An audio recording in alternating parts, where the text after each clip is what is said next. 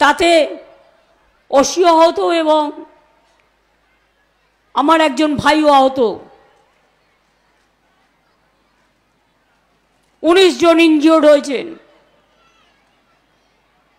কেন অস্ত্র নিয়ে মিছিল করবেন আপনারা? কে আপনাদের অধিকার দিয়েছে? অস্ত্র নিয়ে মিছিল করবার? কে অধিকার দিয়েছে? মণিপুরে দুশো চার্জ পুড়িয়ে দেবার?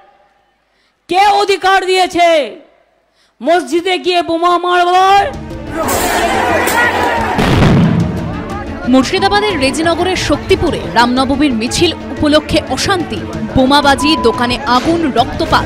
আর সেই অশান্তির ঘটনায় একটি নির্দিষ্ট পক্ষকেই দায়ী করলেন মমতা বন্দ্যোপাধ্যায়। এনআইএকে আক্রমণ করতে গিয়ে সরাসরি সংখ্যালঘু সম্প্রদায়ের পাশে দাঁড়ালেন তিনি। কে অধিকার দিয়েছে? সংখ্যালঘু দেখলেই তাদের বাড়িতে এনআইএ ঢুকে পড়বার কে অধিকার দিয়েছে? রামনবমীর অশান্তি নিয়ে শুক্রবার যে জেলা থেকে এভাবে সংখ্যালঘুদের পাশে দাঁড়িয়ে অপর গোষ্ঠীকে সরাসরি দুষলেন মমতা বন্দ্যোপাধ্যায়।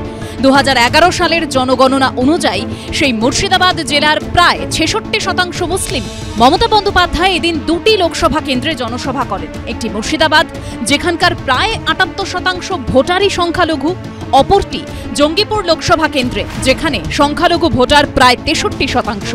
তাই কি সংখ্যালঘু ভোট ব্যাংকের মন জয় করতেই রামনবমীর অশান্তি নিয়ে সরাসরি একটি পক্ষের দিকে আঙুল তুললেন মমতা বন্দ্যোপাধ্যায়? প্রশ্ন উঠছে রাজনৈতিক মহলে। রামনবমীর মিছিল থেকে কোনো আক্রমণ করা হয়নি। এমনকি মুসলিম পক্ষ সেই অভিযোগ করেনি। কিন্তু মমতা বন্দ্যোপাধ্যায় অভিযোগ সাজিয়ে দিচ্ছেন। ঠিক যেমন এনআইয়ের বিরুদ্ধে শিলতাহানির অভিযোগ সাজিয়েছিলেন ঠিক এইভাবে শিল এই একই বোম মারার অভিযোগ সাজালেন মুখ্যমন্ত্রীর নির্দেশে মুখ্যমন্ত্রীর উস্কানিতে। মুখ্যমন্ত্রীর প্ল্যানিংয়ে এই আক্রমণ করা হয়েছে। আপনি স্বরাষ্ট্রমন্ত্রী আপনি নাটক করছেন এ দায়িত্ব আপনার ভোট ভিক্ষের জন্যে। আপনি এই সমস্ত মদত দিচ্ছেন।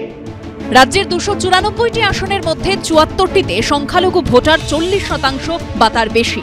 দু হাজার একুশ সালের বিধানসভা ভোটে তার মধ্যে একাত্তরটিতে জয়ী হয় তৃণমূল। লোকসভা ভোটেও সংখ্যালঘু ভোট ধরে রাখতে মরিয়া বলেই কি রামনবমীর অশান্তি নিয়ে এই কৌশলী ও সুনির্দিষ্ট অবস্থান নিচ্ছেন মমতা বন্দ্যোপাধ্যায়? প্রশ্ন রাজনৈতিক মহলে। মুখ্যমন্ত্রী যখন এই অবস্থান নিচ্ছেন, তখন কড়া পদক্ষেপ করল নির্বাচন কমিশন।